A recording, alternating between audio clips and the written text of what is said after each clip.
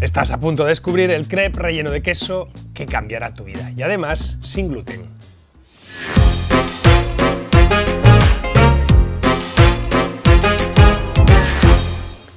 Vamos a empezar con la base de un crepe normal que te podría servir para hacer cualquier tipo de crepe, dulce o salado. Empieza con un huevo, tres buenas cucharadas de almidón de maíz, media taza de leche, media cucharada de azúcar, moreno,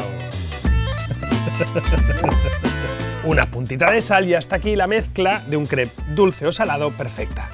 Vamos a empezar con el tuneo. Le vas a poner dos o tres tomates secos, una pizca de orégano y una nuececita, más o menos así, de mantequilla.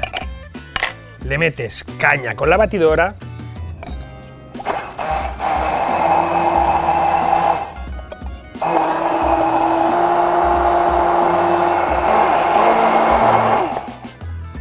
La batidora, pruebas mm, y tiene que tener un delicioso sabor a tomate, el punto perfecto entre salado y dulce y una textura más o menos como esta, no muy líquida y no muy espesa.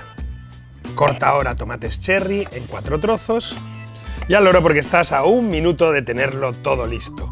Necesitas, importante para esta forma especial de hacer los crepes, una sandwichera manjefesa que esté bien caliente, le pones un poquito de mantequilla, apenas nada, que esté, bien caliente, vas a poner mezcla de crepe que cubra toda la superficie ponle unos trocitos de tomate, un toquecito de pimienta.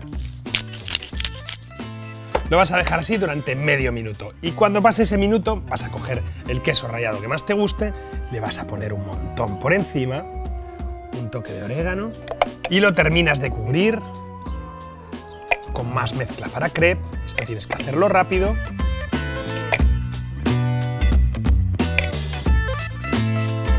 Cierras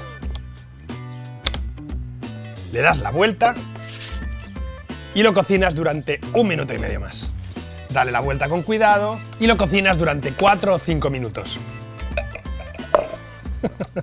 y si todo ha ido bien, te tiene que quedar algo así, una especie de sándwich delicioso, tostadito, perfecto y relleno de queso.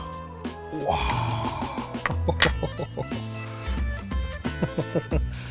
Córtalo a la mitad.